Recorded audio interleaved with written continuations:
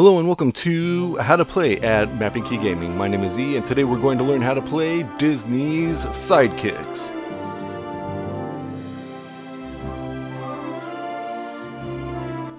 Disney Sidekicks is a 2 to 4 player game for ages 8 and up and plays approximately 40 minutes.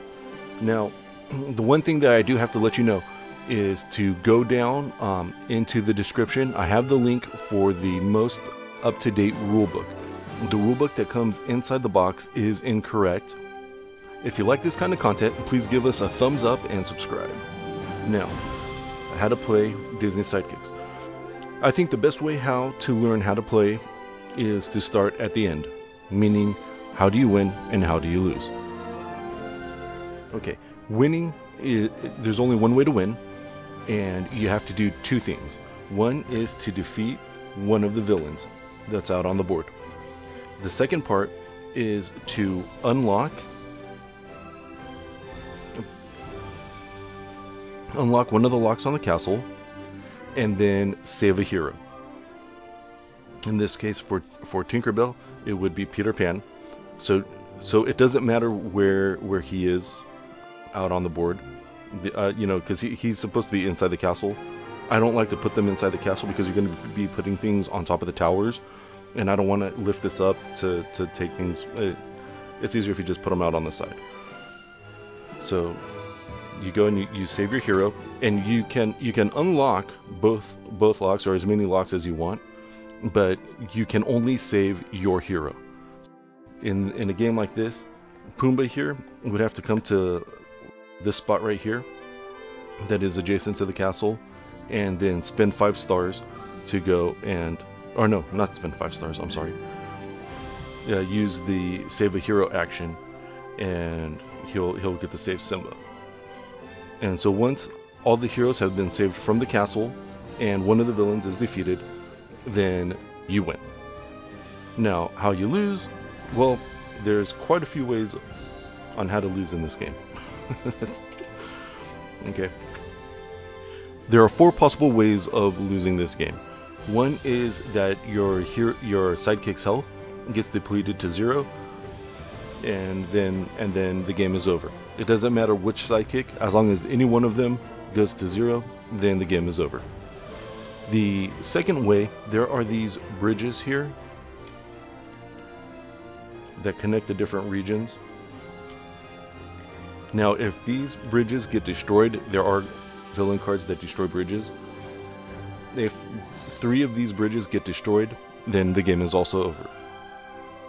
The third way is if the castle towers get filled with villagers and guards.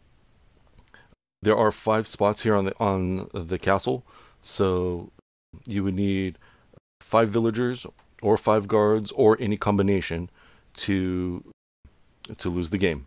And then the final way of losing the game is that certain villains have their own win conditions.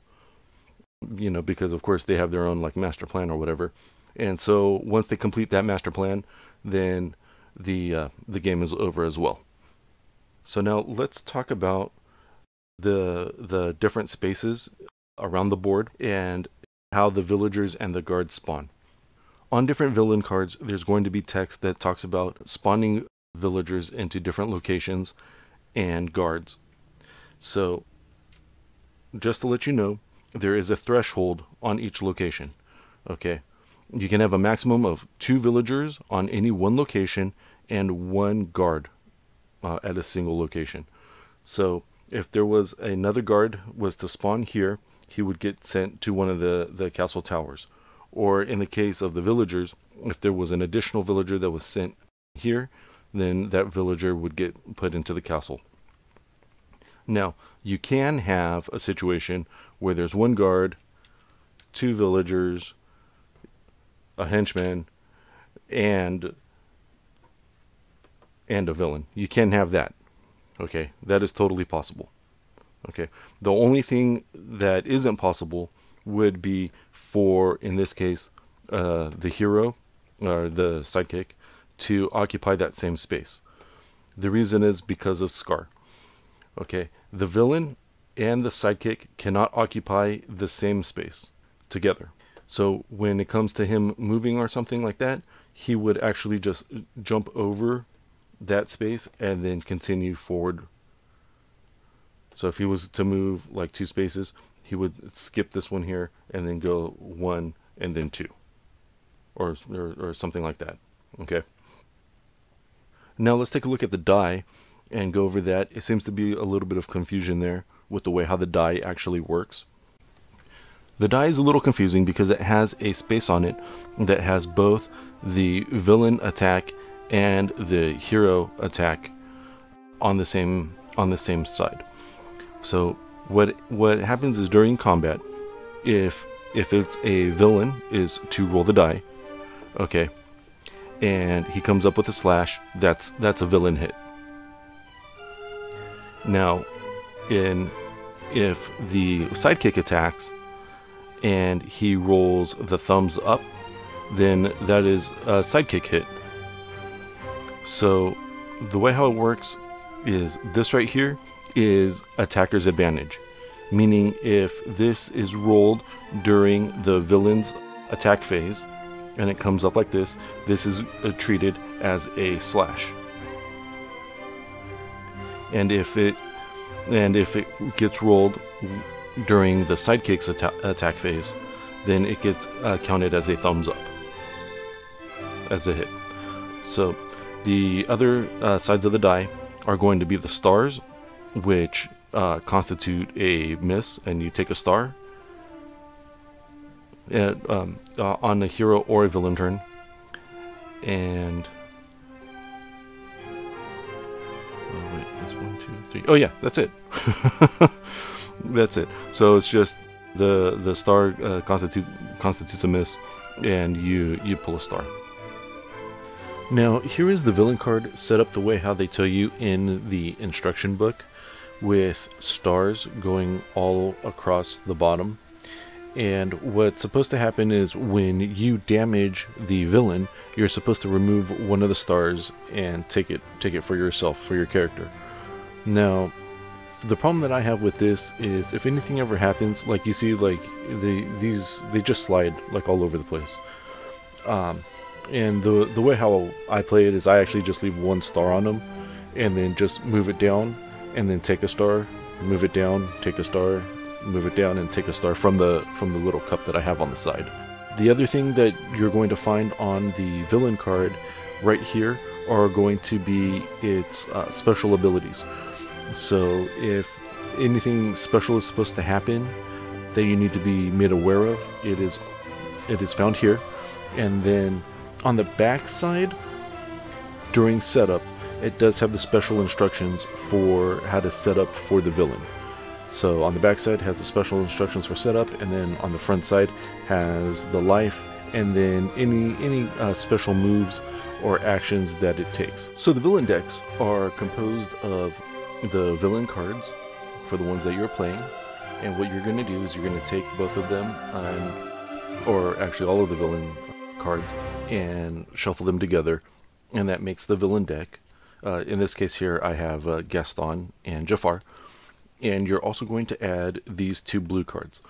Now, there are a number of these blue cards, but the ones that you're going to need and that get played in every game are the two with the castle at the bottom, and those cards, whoops, uh, there we go, and those cards are going to be the explosive bridge, which or I'm sorry, exploding bridge, which that's how those bridges are going to explode, uh, like I had mentioned earlier.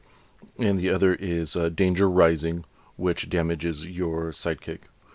And these cards here get played in, in every single game. Now, these other blue cards, the uh, four with the exclamation point is the uh, Villagers in Peril.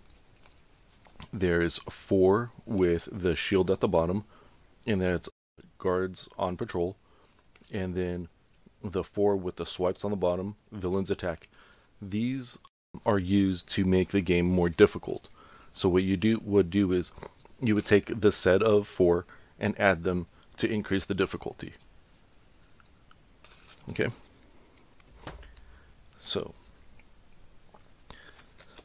now as far as the villain cards go, there there are there's actually three different types. Okay.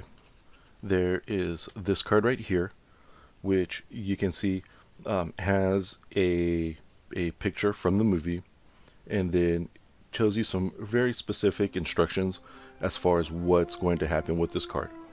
Once you follow, once you complete these instructions here, then then the villain turn is over. The other two are very similar, like this. And the way how they work is here at the top, you are going to find this exclamation point, which means villager. Now I don't know why they just didn't put a picture of a villager, you know, like like that with the with the portrait. Instead, they've gone with this exclamation point. But this this just means that you're supposed to um, pick a random villager and put him at this frozen tree, or in this on this card here, the glacier, on the glacier space. Then, um, so that's step one. Step two is this portion here in the middle, which shows what what to do, uh, just like the uh, the other villain card, except these tend to be a, little less dangerous.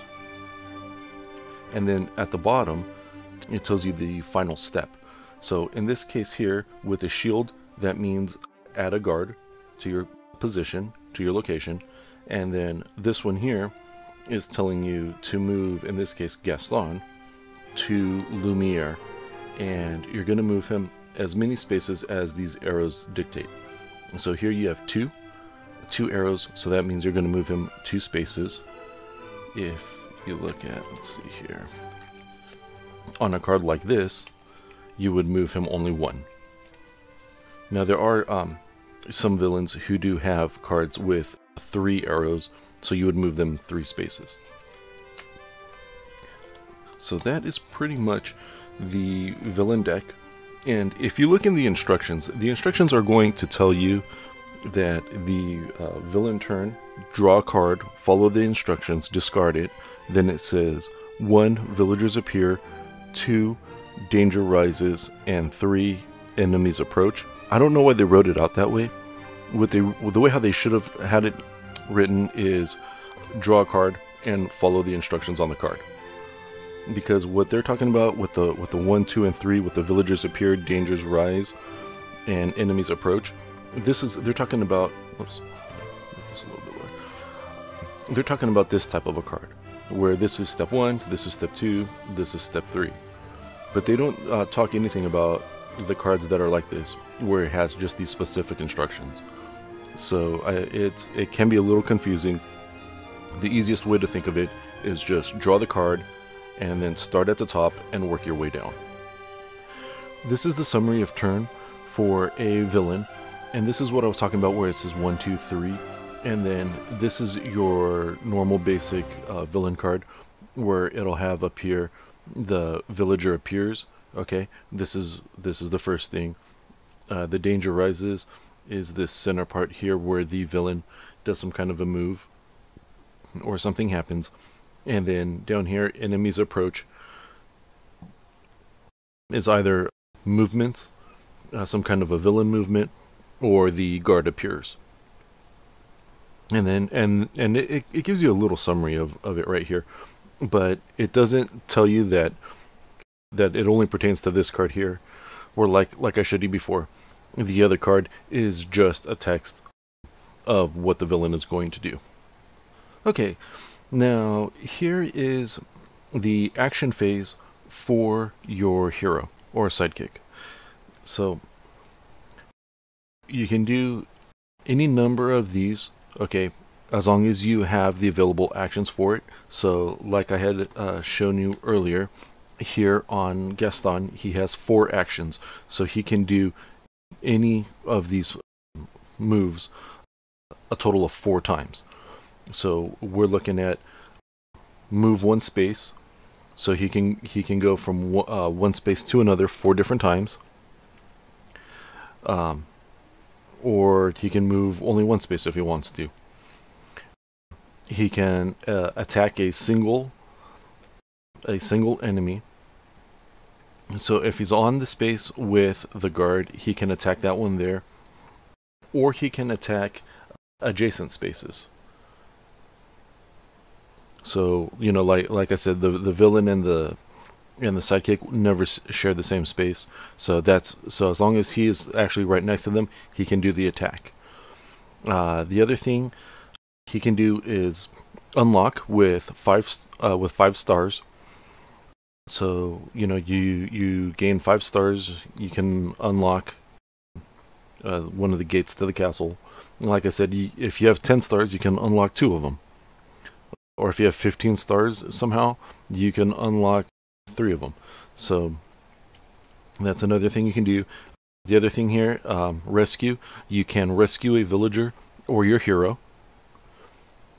And the last, the last one here, rest. This is probably the single most important thing you can do, because uh, this allows you, and you can you can only do this once a turn. This allows you to gain a life, uh, gain a heart. So you you, you move up. That you know you move up um, you know, because if you're if you're down here and you're you're about to die, you know, you you can gain one life that way, or you can gain one star. I don't know how useful gaining that that one extra star is. From my playthrough, the most important seems to be using the life because you're getting you depending on the villain, you're getting hit constantly. So, but that's that's that's how the the rest works, uh, and you can only do it once uh, per turn. I forgot to mention earlier that the sidekick works similar to the way how the villain does, where the sidekicks cannot occupy the same spaces together, and the the villain and the sidekicks can't occupy the same spaces together. So in this case here, if uh, Lumiere wants to move, he would have to move either on this side of Gaston or back here or to the space behind uh, Scar here towards a little bit more towards the top. Uh, I don't know if you can see. Yeah, right up here. So those those are the those are the possible moves that he can make, or he could go um, also backwards one. But uh, as far as uh, Lumiere, he's he's not able to occupy the space with Timon and Pumbaa, with Gaston, or with Scar, and that goes with with all of the sidekicks. Okay, so now with the hero cards, okay, they're going to tell you to to take the hero cards. In this case here, I have Lumi I have Lumiere's cards right here. Okay, and and they're going to tell you to they're going to tell you to shuffle them up, and then to draw three. One, two, three. The rest of these cards are not needed for this game, so you can go ahead and put them back in the box. Okay. Now these three cards here are going to be the cards that you're going to attempt to unlock during the game and they're going to give you these special abilities. And the way how you unlock them is by putting villagers into these little circles that they have on them. Now, the, the, the instructions say for you to use different colored uh, villagers for to complete them. So in this case here I have a blue and then this brownish color. Okay, so this is complete. But I can't have, wait, that's another brown. Um, and, th and this is another kind of problem with the game is that there's a brown and then, then this light tan, I guess maybe it's supposed to be orange color. Um, I think they look, they look very similar. But um, you can't have a scenario like this where there's two with the with the uh, with the same color. So they would have to be different colors for you to fill and complete the uh, the power. And once you've com completed the power, you discard these back into the um, where you have your villagers, and then it just goes right underneath.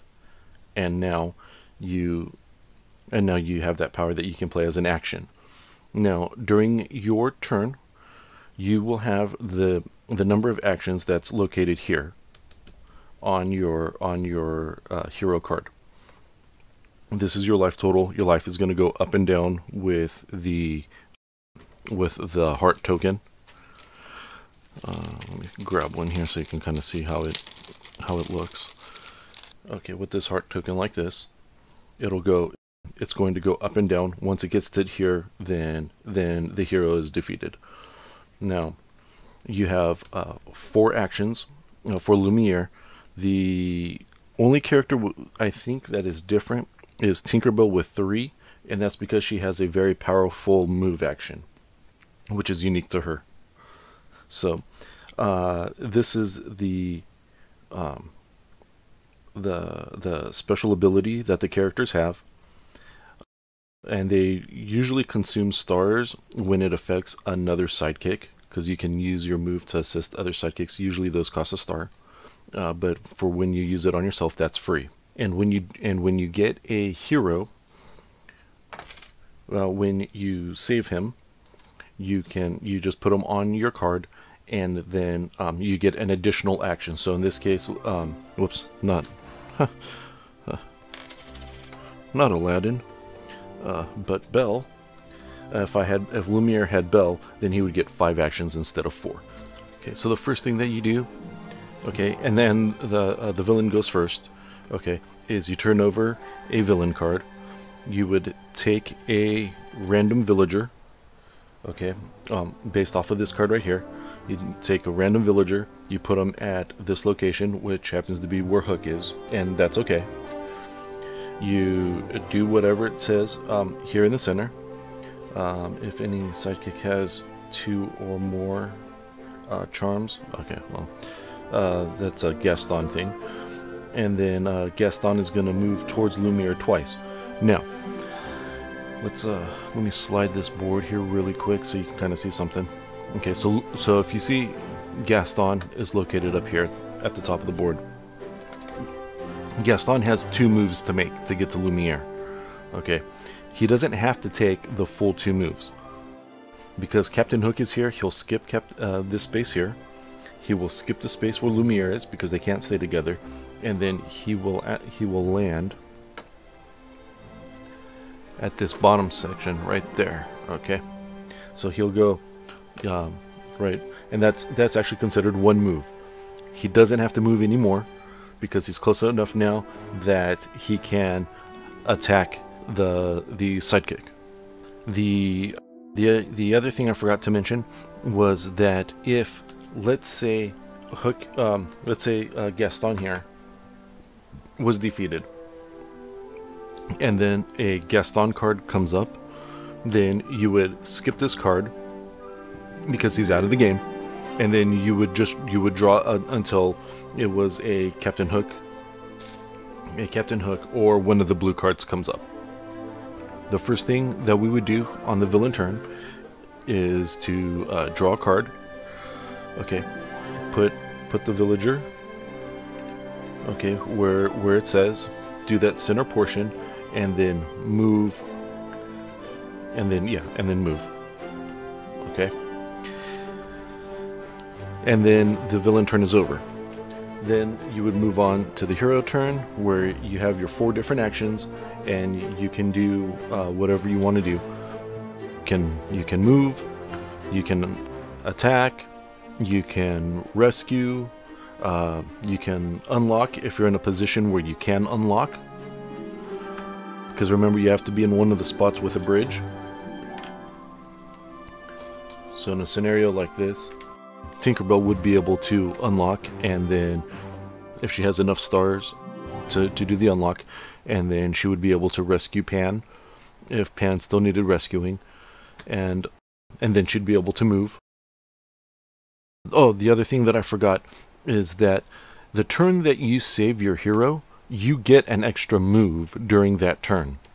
So, you know, if the very last thing that she does, she moved, she did her thing, whatever. She she attacked and she unlocked, you know, and, and she has one move left and she rescues Pan. She will get the extra action and she'll she would be able to, you know, move away or or do do something that she hasn't done or rest. So that's how you play Disney Sidekicks. If you have any questions, please let me know down in the comments below. If you like this content, please give us a thumbs up and uh, subscribe if you want to see more videos. I will be doing a uh, playthrough video on uh, Disney Sidekicks here coming up in the coming weeks, as well as looking at some other games. Uh, I do have uh, some Disney Villainous that will be coming pretty soon. I have a, a couple other Disney games, some Marvel games. I've got a whole lot of content ready to go. So I will see you then, and happy gaming.